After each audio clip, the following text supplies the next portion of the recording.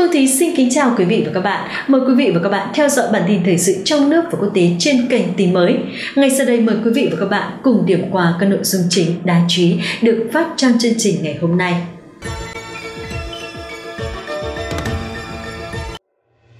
Chào mừng các bạn đã quay trở lại với bản tin của tin mới. Trong bản tin ngày hôm nay, các bạn thân mến, tin mới sẽ mang đến cho quý vị và các bạn nội dung sau.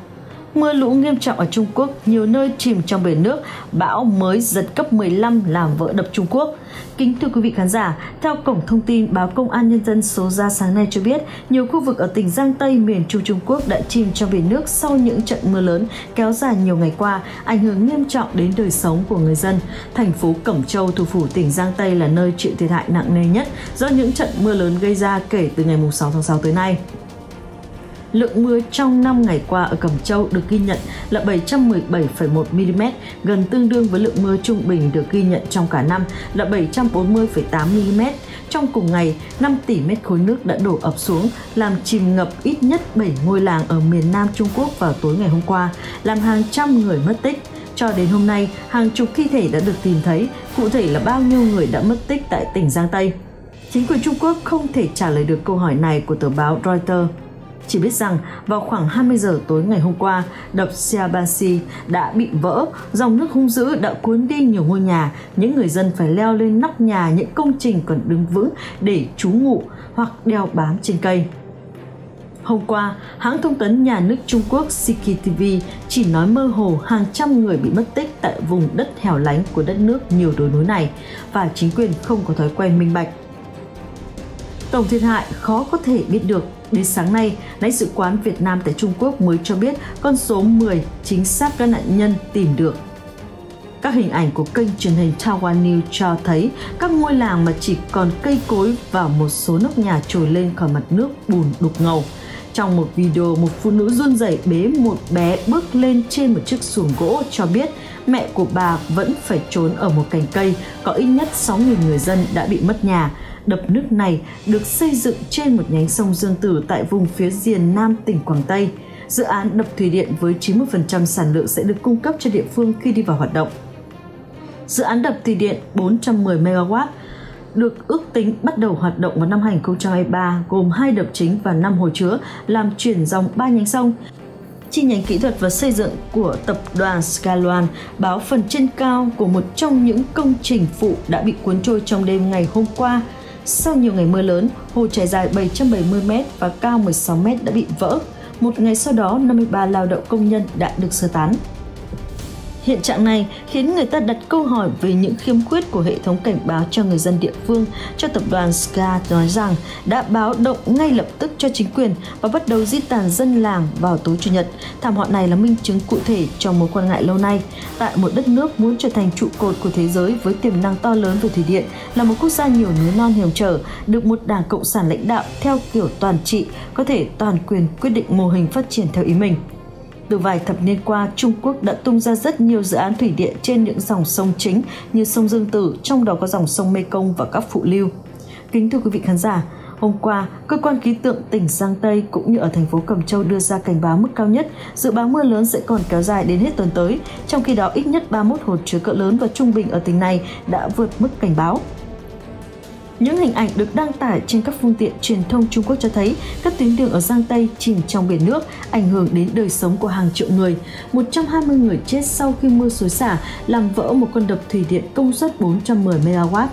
nhiều người đã được giải cứu khỏi những xoáy nước trên đường phố, trong khi 200.000 người đã được sơ tán tại thành phố này. Vào tối ngày hôm qua, đơn vị địa phương thuộc Quân Giải phóng Nhân dân Trung Quốc BA đưa ra cảnh báo rằng những trận mưa lớn đã khiến đập Jitan ở thành phố Đạt Dương. Thành phố này có khoảng 7 triệu dân,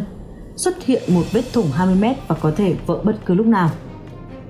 Bên cạnh đó, một hồ chứa nước lớn ở thành phố này cũng đã có nguy cơ vỡ đập buộc giới chức phát lệnh sơ tán. Chủ tịch Trung Quốc Tập Cận Bình hôm nay nhấn mạnh tình hình mưa lũ ở Giang Tây trong giai đoạn nguy cấp, qua đó yêu cầu các cấp chính quyền phải ưu tiên đảm bảo an toàn và tài sản của người dân, đồng thời thực hiện nghiêm túc các biện pháp phòng chống lũ lụt và cứu trợ thiên tai. Lũ lụt thường xảy ra phổ biến trong mùa mưa ở Trung Quốc, cuốn trôi đường xá, hoa màu và nhà cửa. Mối đe dọa này đã trở nên tồi tệ hơn trong nhiều thập kỷ, một phần do việc xây dựng tràn lan các đập và đê đã chặn dòng chảy giữa sông và các hồ lân cận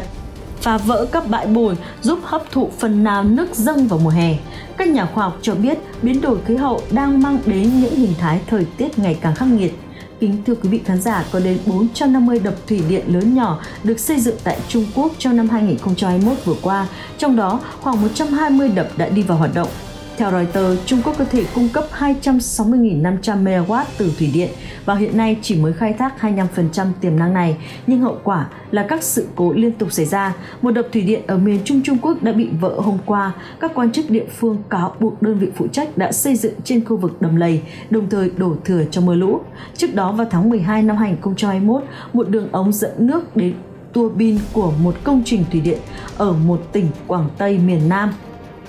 gần biên giới Việt Nam cũng đã bị vỡ, đó là do xây dựng trên vùng đất có độ dốc, trước đây đã xảy ra các vùng đất trượt và ngày càng trở nên bất ổn vì công trường xây dựng đập nước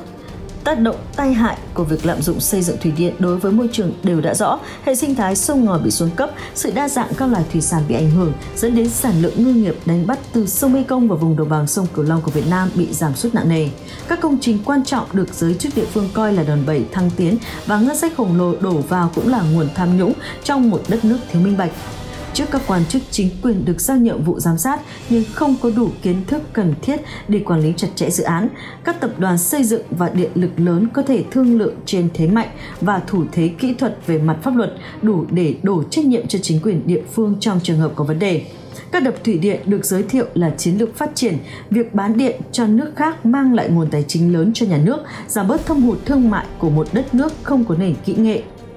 nhưng trên thực tế, các quyết định hành chính được đưa ra bởi các bộ chỉ huy quan tâm đến việc thu lợi nhanh chóng mà không hề nghĩ đến tác động về lâu dài và nguy cơ xảy ra những thảm họa. Kính thưa quý vị, cũng theo nguồn tin có liên quan, Trung Quốc tuyên bố không ngại gây chiến với Đài Loan. Bộ trưởng Quốc phòng Trung Quốc đe dọa sẵn sàng gây chiến với Đài Loan trong việc trao đổi đầy căng thẳng giữa các quan chức Bộ Quốc phòng cấp cao của Trung Quốc và Mỹ. Ngày hôm nay, bên lề hội nghị an ninh quốc tế đối ngoại ở Singapore, cuộc gặp song phương đã được tổ chức tại giữa Bộ trưởng Quốc phòng Trung Quốc Nguyễn Phượng Hòa và người đứng đầu Lầu Năm Góc, Lon Austin. Sau cuộc hội đàm, người phát ngôn Bộ Quốc phòng Trung Quốc Đại tá Ngô Kim đã tổ chức cuộc họp ngắn cho các nhà báo đưa ra về sự kiện này. Ông Ngô Kim dẫn lời Bộ trưởng Quốc phòng Trung Quốc Nguyễn Phượng Hòa cho biết, nếu bất cứ ai dám chia cắt Đài Loan khỏi Trung Quốc, quân đội Trung Quốc chắc chắn sẽ không ngần ngại bắt đầu một cuộc chiến bằng bất kể giá nào.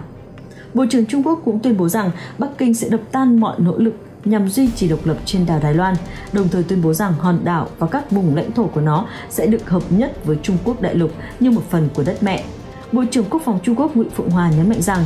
nếu bất cứ ai dám chia cắt Đài Loan, quân đội Trung Quốc chắc chắn sẽ sẵn sàng chiến đấu. Đừng trả giá để phá hủy bất kỳ kế hoạch nào nhằm tách Đài Loan hoặc giành độc lập.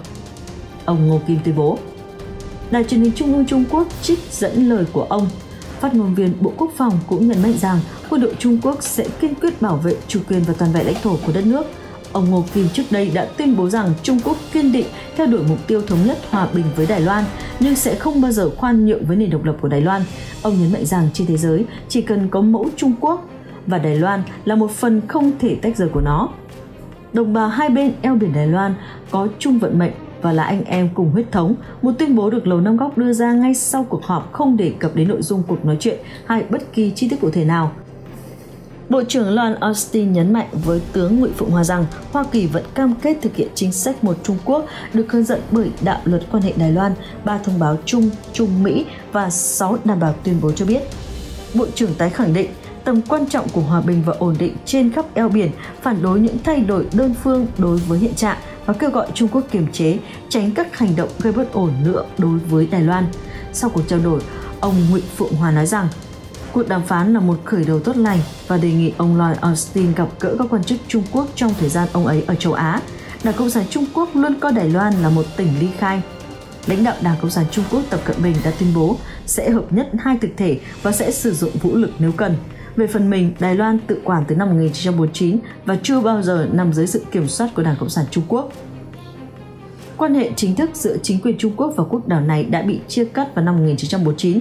sau khi lực lượng quốc dân đảng do tưởng giới thạch lãnh đạo bại trận trong cuộc nội chiến với Đảng Cộng sản Trung Quốc và rút khỏi Đài Loan, các liên hệ kinh doanh và quan hệ không chính thức giữa hòn đảo và Trung Quốc đại lục được nối lại vào những năm 1980. Từ những năm 1992, hai bên bắt đầu liên hệ thông qua các tổ chức phi chính phủ, Hiệp hội Phát triển quan hệ qua eo biển Đài Loan của Bắc Kinh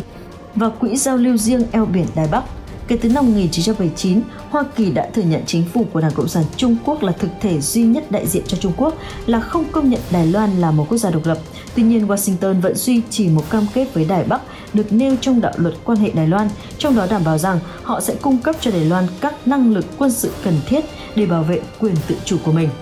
giới lãnh đạo quân sự Hoa Kỳ tin rằng Đảng Cộng sản Trung Quốc đang chuẩn bị cho một cuộc xâm lược hòn đảo và có thể phát động một cuộc tấn công như vậy vào năm 2027.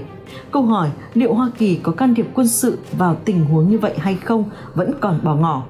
Cuộc hội đàm diễn ra sau khi quan hệ Mỹ-Trung những năm gần đây liên tục xấu đi về nhiều vấn đề như đảo Đài Loan, Biển Đông, Hồng Kông, tăng cường các vấn đề nhân quyền và an ninh mạng. Ông Lloyd Austin là quan chức cấp cao mới nhất của Mỹ thăm châu Á khi Washington tìm cách chuyển trọng tâm chính sách đối ngoại trở lại khu vực này sau cuộc chiến Ukraine. Đây là cuộc gặp đầu tiên giữa Lloyd Austin và Nguyễn Phượng Hòa từ khi Bộ trưởng Quốc phòng Mỹ nhậm chức. Hai quan chức trước đó đã điện đàm hồi tháng 4. Ông Lloyd Austin sẽ có bài phát biểu tại đối thoại Sangrida Đối thoại diễn ra sau 2 năm bị hủy vì đại dịch Covid-19. Hiện tại Hoa Kỳ duy trì chính sách mơ hồ chiến lược, trong đó họ sẽ không xác nhận cũng không phủ nhận liệu họ có bảo vệ Đài Loan khỏi một cuộc xâm lược của Đảng Cộng sản Trung Quốc hay không. Tháng trước, Tổng thống Joe Biden đã tuyên bố công khai rằng Hoa Kỳ sẽ chiến đấu vì Đài Loan. Đây là bình luận thứ ba trong những tháng gần đây của ông Joe Biden về nội dung này. Trong cả ba lần nói hớ này, Bắc Kinh đều lên án đáp trả và Nhà Trắng ngay lập tức phải đính chính lại. Và các bình luận của Tổng thống Hoa Kỳ đã nhiều lần khẳng định duy trì chính sách mơ hồ chiến lược với Đài Loan, trong đó Washington tuyên bố sẽ tăng cường hợp tác kinh tế và giúp xây dựng năng lực tự vệ cho đảo Đài Loan, nhưng không hứa hẹn bảo vệ hòn đảo bằng các biện pháp quân sự nhằm tránh chọc giận Bắc Kinh.